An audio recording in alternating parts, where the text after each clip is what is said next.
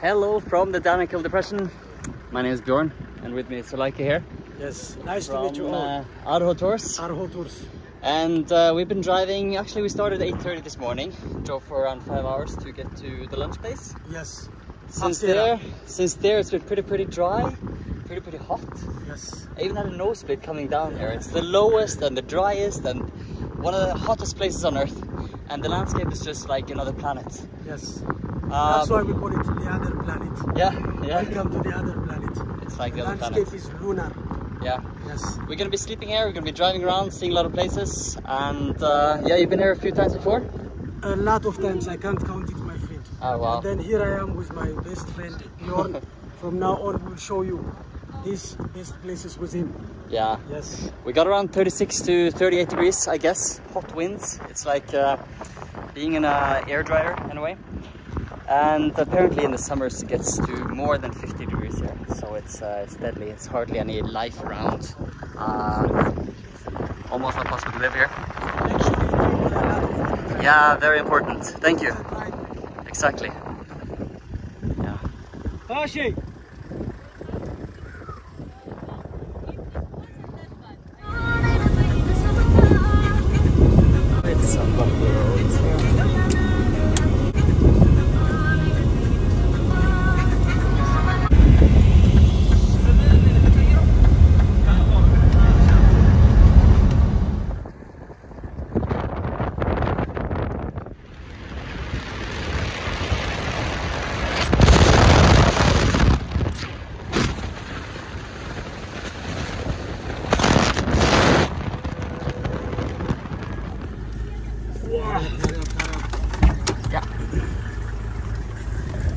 Full of dust everywhere. And this is our first stop, really. Today's been a full day of driving. But the landscape has, has been changing so much. And now we're in a salt desert. With the sun setting behind us. Wow. What do you think? Yeah? Crazy. Come. What a sunset. What a place. What a guy. What a girl. What a team. Oh, We're basically just walking in salt water. I also want like pictures, maybe 10,000. Casual pictures. Actually, it's a video. Fooled you. Oh, this is nice.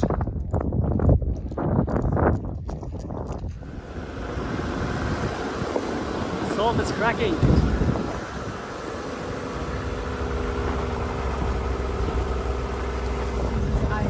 Yes, it's like ice. Breaking the ice. Real annoying. No, no, no. Leave your luggage here. We're just walking for a bit. I think maybe this truck is blocking the road. Like maybe it fell through the the ice. No, the salt. What do you call it? All the lights. All Yeah, the lights, they are mining. they're mining And then salt they start mining when the sun sets. because of the heat in the because daytime. Because of the heat, yeah. So they work until 3 a.m. Some until uh, midnight. Wow. And they go back, they sleep the whole day, they start chewing, and then later at night also they come. Oh wow. Yes. To cut it, they follow these patterns. Okay. This is uh, freezing. One package, how, how many kilo? Uh, no, it's big, it's big, it's big. You see this cut? This, So they cut out these octograms this here. is more than seven kilograms.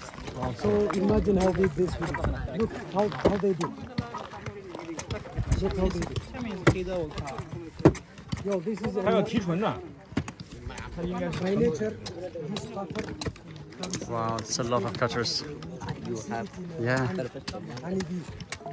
And one here they sell it 30 birr. One tube. 30 birr like like, like 40 cents. Uh, 60 cents. Yeah, 60 cents yeah. for one cube like this, which is huge.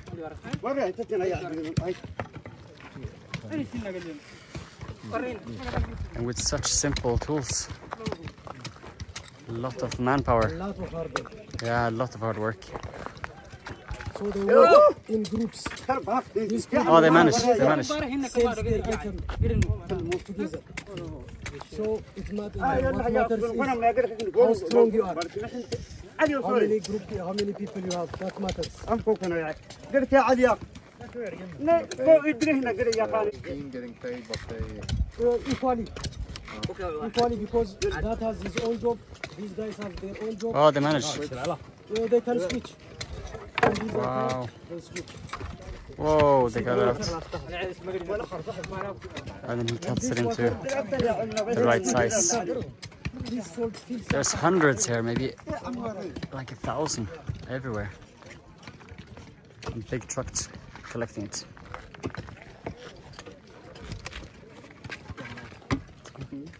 So basically, people people are working here all night and uh, taking shifts who get to go. It's definitely too hot to do it at uh, daytime, so at break of dawn, I'm sure all of these hundred people will be gone. And then by the evening, they're coming back. Sorry, Bo! Oi, sorry. That was very bright. it's okay. For me, yeah. So we have a cook. What are we cooking tonight? spaghetti. Spaghetti. Nice. Oh, thank you. A lot of sauce. I'm happy. Spaghetti there. Garlic. It's enough for It you. was really good. Yeah, it's good. It's enough for you.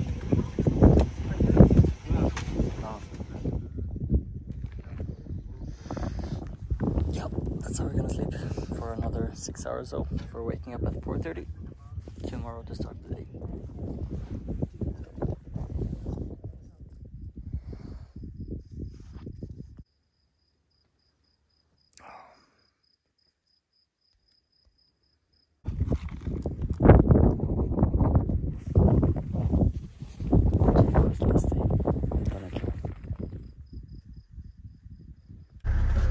So it's 4.30 in the morning and we're off to see Dalol, which is the lowest point in this trip and that's also going to be the hottest place. So that's one of the reasons why we're going so early in the morning, even before the sun has risen. But also because this, the, the colors are going to be the best at that time apparently. Right? Yes, I hope so. Whoa, you're going straight through the floor here. Watch out. It's gonna break under you.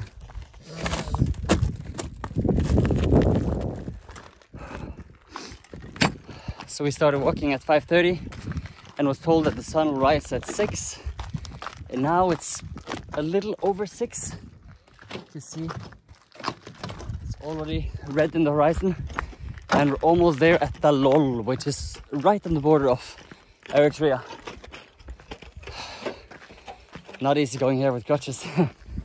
it's really, really, really strange landscape. It's like this oh, crust that you're breaking, like stepping on ice or glass of some kind. And it smells like sulfur everywhere.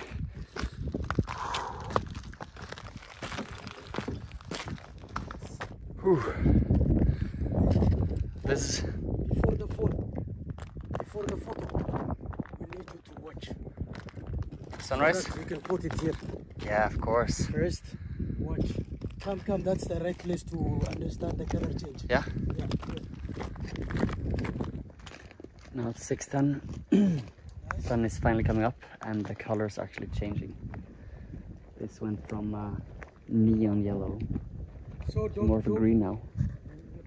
don't tr- don't trust it because it's liquid and burning. It's acid. Yeah. So don't go inside. Wow. Just watching and wondering. We can walk uh, On the re- yeah the brown, yeah. red. on the firm ones. So, who do you think is the chemist behind this? God.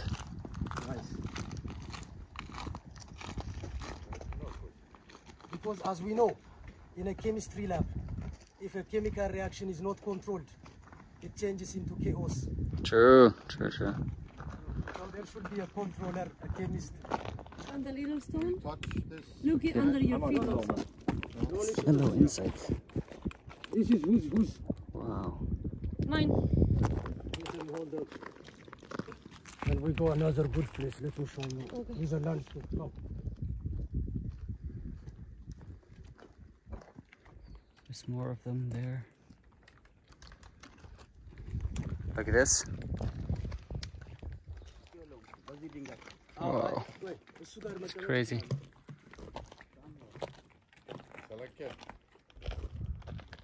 And they're moving. The buildings over there.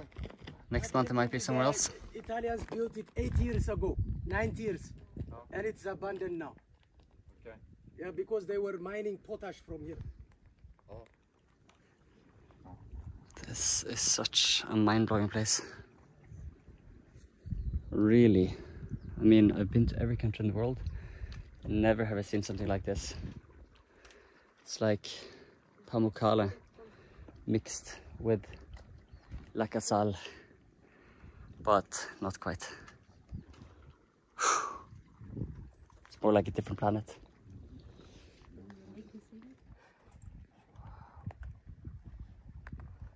Do you have anything to say? This is amazing. Like the best place I ever been in my life. There's bubbles of water coming out. Here. Yeah, it's hot. It's gonna get so hot in a couple hours. Oh, this place is really incredible. It's just something totally different than anywhere else. There's also bubbling. Looks really radioactive.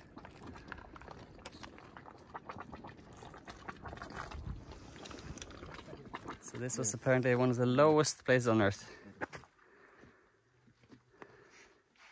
What's the lowest one? How much is the Dead Sea? Minus 413. So it's just 300 meters away from Dead Sea, lowest so point this on is earth. like the seventh lowest in the world and the second lowest in Africa. The first is very close, a neighboring country, Djibouti. It's minus Lac, 150. Lac Assal, yeah. Lac Assal. We are driving up and down these lava hills. This is all lava rock, right?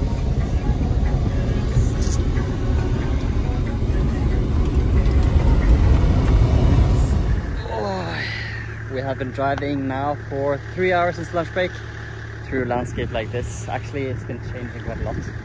Um, but mostly it's been volcanic lava and just empty really so um, I'm sure there's lots to see here but it's quite big distances between everything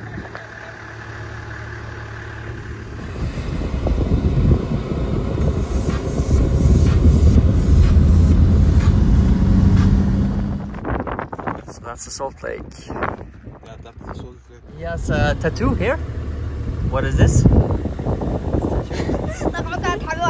this kid is chewing khat How do you hand? this guy has really sharp teeth No, no, photo, photo, no. Oh no? Okay. I was told that the stripes. Yeah, Yeah, I hear it. I was. yeah. I was told that the stripes are from the clans. So yes, three stripes there. And if you look at the small kid, he's chewing khat here. And the teeth of them are cut when they're young, when they're children. They're cut sharp. Yeah. Yeah. It's pretty crazy. I mean, this area here, it's one of the harshest environments really to grow up in. Okay, To find food and water here must be nearly impossible. So uh, we saw some trucks coming with uh, aid, which uh, probably is heading to the Tigrinya region, which is kind of problematic. And that's also why we couldn't start from Mekele, where the tours normally go, and we had to go through Semera. Yeah, so we'll continue the tour. these kids just wanted some pens from us and say hi. Mira. Mira? Name, name. Here. Kumigawa. Mira, huh? So we gave them some school books and pens, exactly what they wanted. Pretty nice that they're not asking for money, just for things that are needed, like school books. Right? Yeah. So how far is it to the next stop? Next stop, uh, 20 minutes. 20 minutes. Then we'll have small African shape swimming pool full of sand so you can float.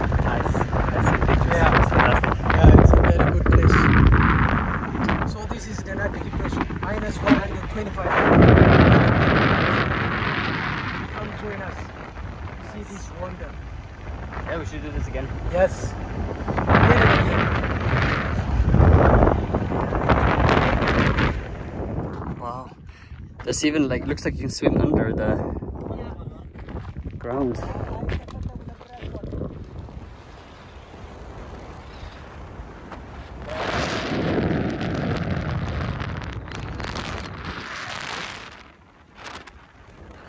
That was good.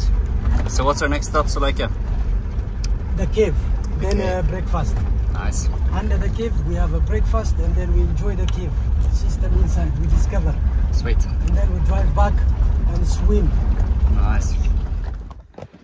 So they call this place the caves, På där. Vi säger probably because of the caves. But there's also lots of uh, spe special rock formations with uh, På där. Vi säger. yeah, different minerals. It means fuck. En på där. Ah, poder. To be able to. Calcium carbonate. Yeah.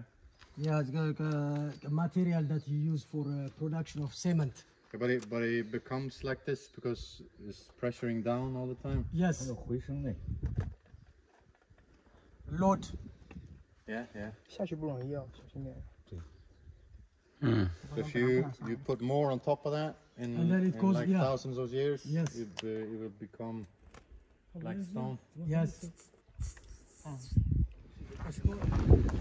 This here must be the crater rim volcano. Half an hour easy like But then we have to go down further to see apparently where the is. Just in time for sunset. And when you look at the lava here, look at the volcano, you can see the red light coming out of the chimney. That is the lava. I'm pretty sure we're gonna see it pretty well when it gets dark here. There you see red color. Now that the sun is down, you can see a lot more of the fire. It's crazy.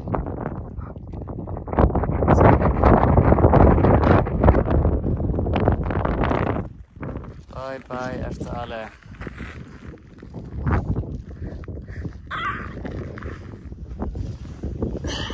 Last night there was so much wind here. It got so cold that we got, barely got to sleep. So even though this trail's incredible, uh, I'm really, really looking forward to getting back to civilization, having a hot shower, and some good night's sleep in a nice soft bed. So you need to have a security guide to go this this place, and uh, the guy says we can shoot a bullet for like three dollars each. And he's on like sixth bullet now, learning how to shoot. Like this. Look. Look, watch, watch with this. Wow, that's loud.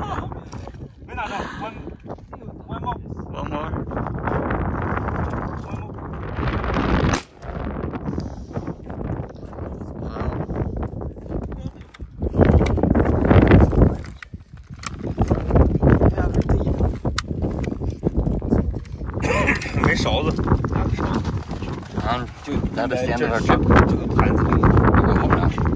Or actually continue somewhere else. So I'll see you in the next country. It's so funny how you